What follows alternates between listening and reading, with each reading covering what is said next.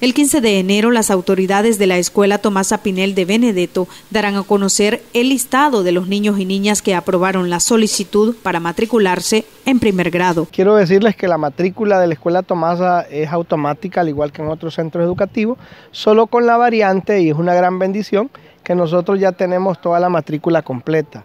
El banco de datos para primer grado de este año lo hicimos en noviembre del año anterior, el cual el día lunes, el día 15, estaremos publicando los, nombres que quienes son los que ya están listos para matricular o los que van a ingresar a primer grado.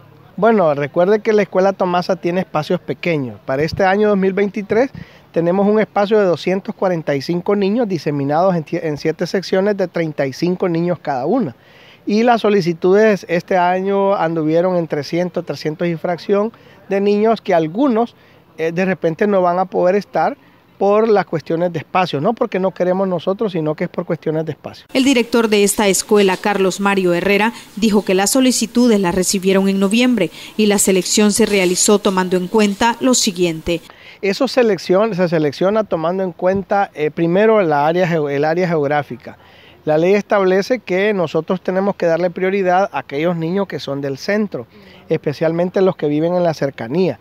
Pero nosotros no tomamos en cuenta eso, sino que tomamos eh, cuál es el, el, desenvolvimiento que el niño tuvo en el kinder, si está en el kinder, si viene de un centro educativo o no ha estado en un centro educativo, y también las edades, porque las, las edades influyen. La ley establece que el niño apto para primer grado es de 6 años y medio, pero nos estamos encontrando en la actualidad que hay niños que tienen 5 años y ha salido de preparatoria e incluso hay algunos, nos hemos encontrado con casos con cuatro años y medio.